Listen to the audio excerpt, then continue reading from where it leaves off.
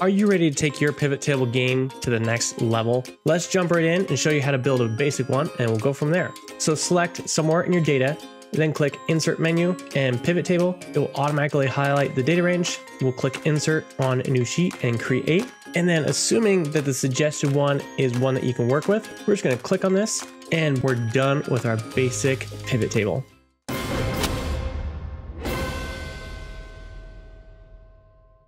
So let's rewind for a moment and show you how to build pivot tables from scratch and go in a little more detail. So we'll go to insert and pivot table.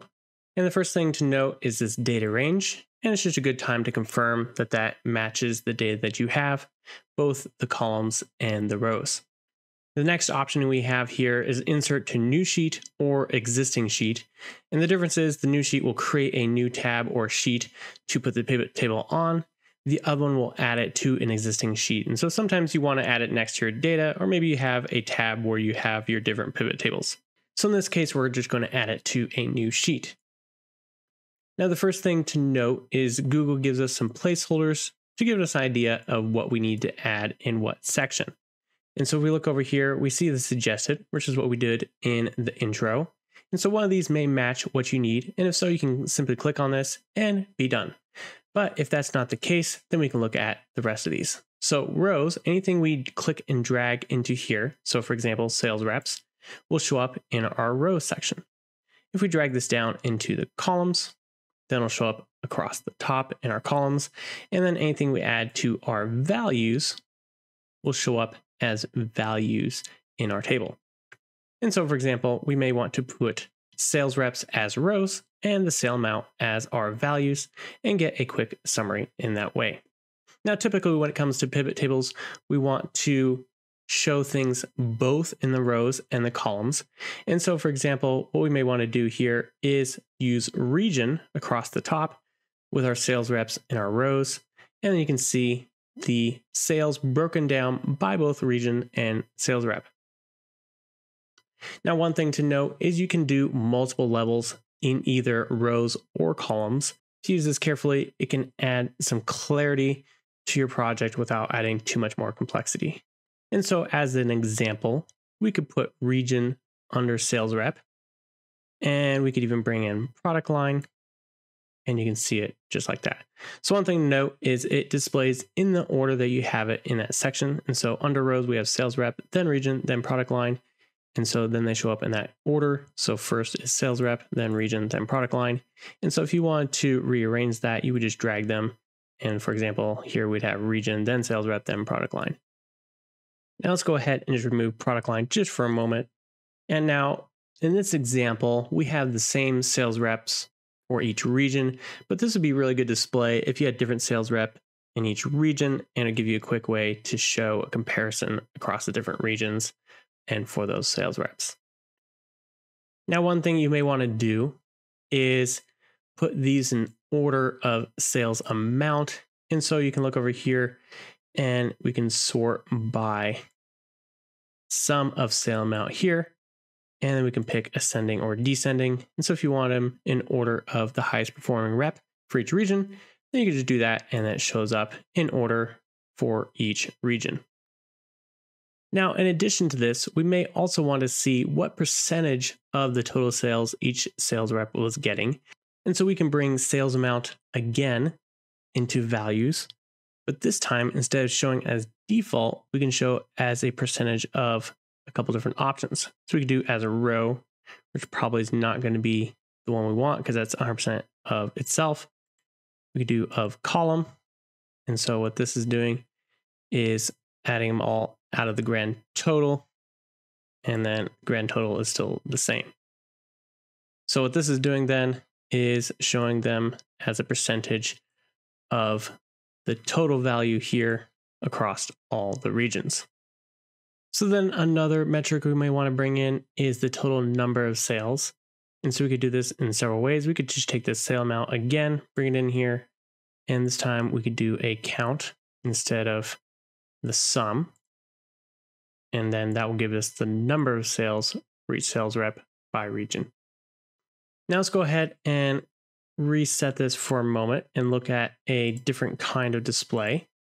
And so one thing you may want to do is group by date. And so we have individual days in here, and so that's not particularly useful, but maybe we want to do a grouping. And so let's go ahead and just take date into our rows, and we can see all of our dates there, which isn't super useful. But if we right click over here, we can do a pivot date group. And so it gives us a number of different options.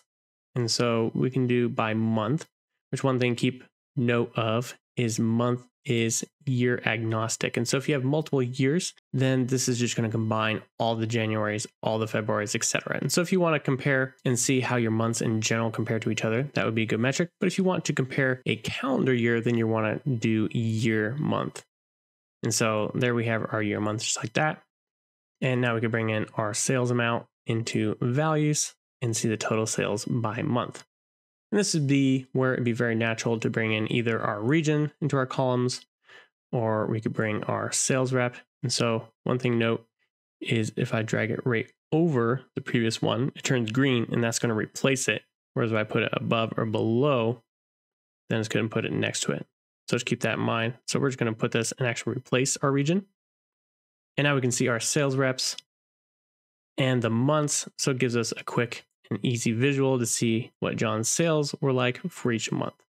Now, one thing you may want to do is actually have these months across the top. Let's go ahead and reset again real quick. And let's go ahead and bring our dates into the columns.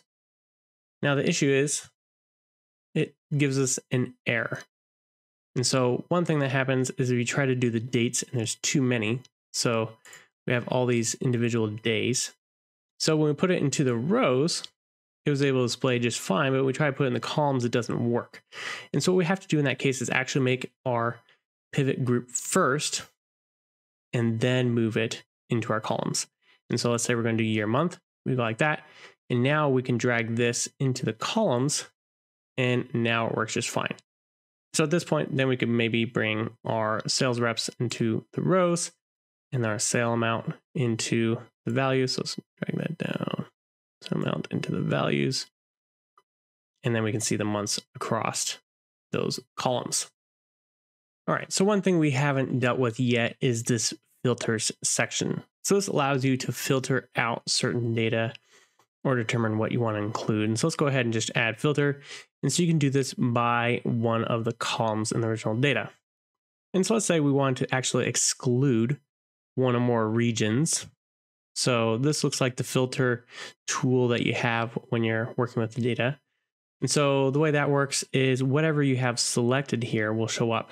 And so if we want to, let's say, only show data for the North region, we can unselect those, or we can just do clear and then just select the one we want. And to reset it, you can just select all.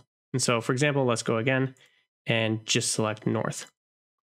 So now you can see all the numbers are decreased quite significantly because it's only showing for north. So we could include east again, and you can see the numbers adjust accordingly. So this is a great way to quickly adjust what you display in your pivot table. And you can do this by either multiple. So if you want to do by region and sales rep, and you can determine how you want that to display. And then if you want to remove one, you can just remove one just like that. So that's a quick way to validate some of that. Another thing you could do, for example, under the filters, here we could do a filter by condition. And maybe we'd say we want something that is greater than a thousand. And now it's only showing the results for any sales that are greater than a thousand.